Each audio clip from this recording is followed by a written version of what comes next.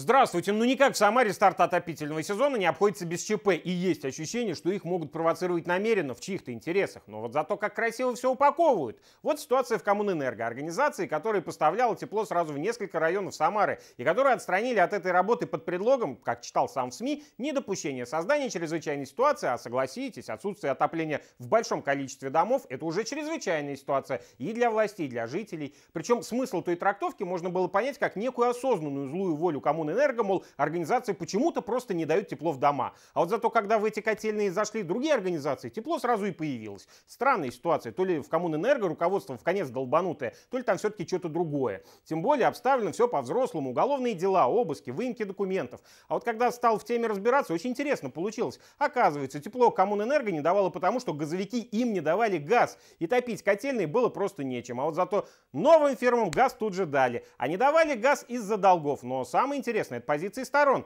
Как мне объяснили в Коммунэнерго, они от долгов не отказывались, платить были готовы, но по возможности. Ведь при том, что их долг порядка 50 миллионов, им самим управляющие компании должны больше 100 миллионов рублей. Да, собственно говоря, мы не отказываемся платить. Были некоторые предложения по поводу оплаты Какие? данной задолженности.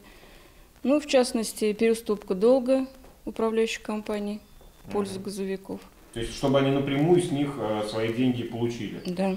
Вот если бы с Коммунэнерго все расплатились, а они бабло зажали, платить не хотят, то да, уроды, привлекать надо за создание чрезвычайной ситуации. Но вот когда у тебя дебиторка больше 100 миллионов, а кредиторка всего 50, то картина совсем другая. Претензии как-то сами собой переадресуются другим фигурантам. Управляющие компании сами долги свои признают, но добровольно платить не хотят. Вот все и увязло в судах. А газовикам стрясти долги именно с Коммунэнерго настолько приспичило, что вот именно им газ перерубили и договор разорвали, и создали все условия для того, чтобы работать было просто невозможно тем самым самым, по-моему, как раз и спровоцировав угрозу возникновения чрезвычайной ситуации. Где логика? Ведь и та организация, которую сейчас завели на котельной, им тоже должна сопоставимую сумму 28 миллионов, но им газ дают. Вот и возникают вопросы, кому выгодно нагнетать и почему нельзя было договориться по-хорошему. Есть ощущение, что нужен был скандал, да так, чтобы крайними выставить Коммунэнерго. Его и организовали. Вот реально ситуацию довели до грани, когда властям нужно немедленно было вмешиваться и действовать без оглядки. Кто прав, кто виноват. А разбираться с этим уже можно после, когда когда у людей батареи потеплеют. Это понятно, но непонятно, зачем работающие предприятия гробить.